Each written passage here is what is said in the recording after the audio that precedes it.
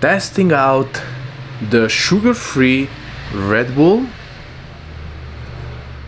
Really cool can and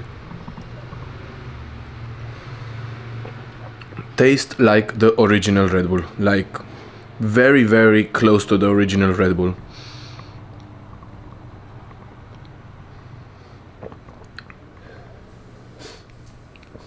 Really good.